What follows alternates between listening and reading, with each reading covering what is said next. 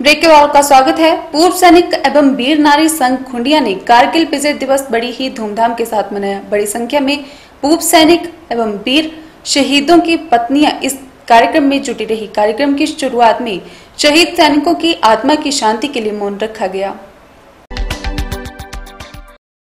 पूर्व सैनिक एवं वीर नारी संघ खुंडिया में कारगिल विजय दिवस को बड़े हर्षोल्लास के साथ मनाया गया। बड़ी ही संख्या में पूर्व सैनिक एवं वीर शहीदों की पत्नियाँ इस कार्यक्रम में जुटी। कार्यक्रम की शुरुआत में शहीद सैनिकों की आत्मा की शांति के लिए मौन रखा गया। उसके बाद बहुत से वक्ताओं ने सैनिकों के शौर्य के किस्से सुनाए। किसान विश्वकर्मा एग्रो खुंडिया ने इस मौके पर जय जवान, जय किसान एवं जय विज्ञान का नारा दिया। एवं कारगिल विजय दिवस के मौके पर पूर्व सैनिकों ने सरकार द्वारा चलाई गई अनेकों कृषि बागवानी योजनाओं पर चर्चा की। कार्यक्रम के आखिर में सब पूर्व सैनिकों एवं वीर नारियों ने बाज़ार में रैली निकाल ली और बाज़ार में सब लोगों को लड्डू बांटे। इस मौके पर पूर्व सैनिक एवं वीर नारी संघ खुंडिया के चेयरमैन कैप्टन देशराज राणा, खुंडिया तहसीलदार निर्मल सिंह, खुंडिया तहसीलदार निर्मल सिंह, यूको बैंक शाखा प्रबंधक ज्योति प्रकाश, कैप्टन संसार चंद, सूबेदार करतार सिंह, नायब सूबेदार अमर सिंह, सूबेदार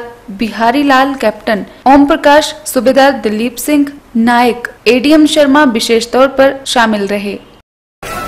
गुस्ताखी करके करगिल में चोटियों के ऊपर आकर बैठ गया था। हमारे देश की वीर सेनाओं ने उन घुसपैठियों को मुँह तोड़ जवाब दिया था। हज़ारों की संख्या में उनको मार गिराया था। कुछ कुर्बानियाँ हमारे वीर सैनिकों की भी हुई। आज 26 जुलाई, आज से 20 साल पहले 99 में ये कारगिल युद्ध हुआ था। आज पूर्व सैनिक एवं वीर नारी संघ खुंडिया इस पावन पर्व को यहाँ पर मना रहा है, इकट्ठे होकर वीर नारियाँ भी हैं, वीर सैनिक भी हैं, और इलाके के नौजवान युवा, बुज़ुर्ग भाई बंधु भी बाज़ार में खड़े हैं।